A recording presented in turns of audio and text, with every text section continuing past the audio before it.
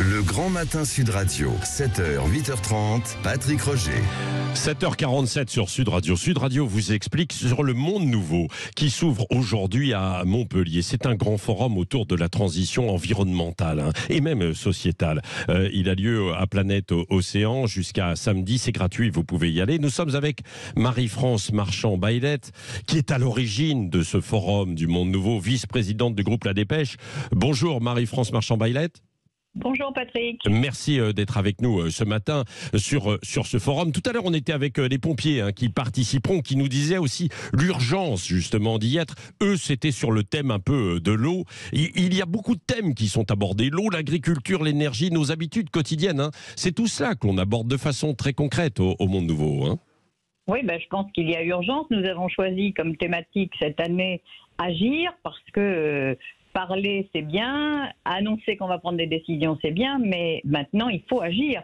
Et les pompiers, vous avez raison, sont bien placés entre les incendies et, encore hier dans les Pyrénées-Orientales, euh, des, inondations mmh. terribles et de la grêle. Euh, bien évidemment, il y a urgence, oui. Oui, c'est ça. Alors vous, vous avez créé ce forum euh, il y a déjà maintenant quelques années, car vous sentez que l'opinion publique ne se rendait pas compte, même si maintenant ça change, de l'urgence de la situation ben, euh, surtout, j'avais assisté à la prépa de la COP 21. J'avais vu ce que disaient les scientifiques et ce qu'ils prédisaient.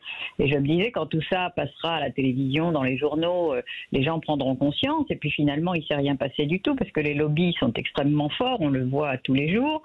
Et donc, euh, j'ai considéré que nous couvrions avec l'ensemble de nos titres l'Occitanie qui représente 6 millions d'habitants. Et j'ai considéré que c'était une responsabilité sociétale de notre part d'alerter nos concitoyens au plus près du mm. terrain. C'est pour ça qu'on a créé le Monde Nouveau. Oui. Et, c'est l'idée aussi d'en parler, parce que bien souvent, c'est euh, très alarmiste et donc ça, ça fait peur, ça fait paniquer aussi. Euh, euh, non, non, que euh, tant qu'il y a de la vie, il y a de l'espoir. Et puis surtout, moi j'ai une immense confiance dans la jeunesse, mais en même temps, on ne peut pas faire porter sur les épaules de notre jeunesse la responsabilité des changements indispensables.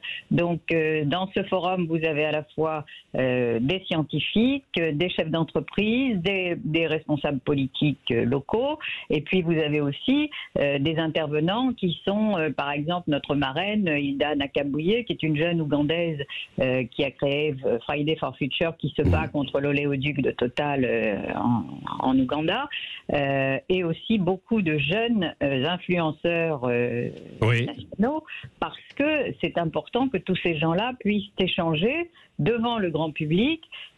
Et nous avons des tas d'ateliers pour les jeunes, nous aurons les éco-délégués. C'est important que l'ensemble des, citoyens puissent échanger entre eux pour prendre les fameuses décisions et pousser les politiques à agir. Oui, parce que c'est vrai qu'on dit euh, que souvent les politiques ont du mal à, agir là et que les solutions peuvent venir du, terrain, des, citoyens, de cette prise de, de conscience. quoi. Ben, je crois qu'il y a deux choses. Il y a deux niveaux. Nous, on le voit ici, par exemple, où euh, le maire de Montpellier a annoncé la, la, gratuité des transports dans 100 jours, euh, où la présidente de région a aussi fait énormément dans ce qui touche à l'hydrogène et dans euh, les, le prix des billets de, de, train. On a des politiques locaux qui prennent des décisions et qui s'engagent. Et puis, au niveau national et, et international, c'est beaucoup plus compliqué. Vous avez vu les résultats du G20 qui sont encore à minima sur les sur les engagements environnementaux. Vous avez vu euh, hier euh, Van der Leyen dire euh, ah oui oui on va faire on va faire, mais qu'est-ce qu'on fait de concret? Bon, en tout cas, il faut agir et c'est bien le titre justement de ce Monde Nouveau cette année, cette nouvelle édition qui a lieu donc à Planète Océan, hein, l'Odysseum, c'est ça, à Montpellier. L'entrée est gratuite et nous vous attendons très nombreux. Voilà, c'est ça. Merci Marie-France Marchand-Bailette, évidemment, vice-présidente du groupe La Dépêche et à l'initiative. Et nous en reparlerons euh, sur Sud Radio. Euh, tiens, nous aurons euh, par exemple Christine Bouillot qui sera en direct demain dans Les Vraies Voix en direct de, ce forum. Merci et, et bon forum donc jusqu'à samedi.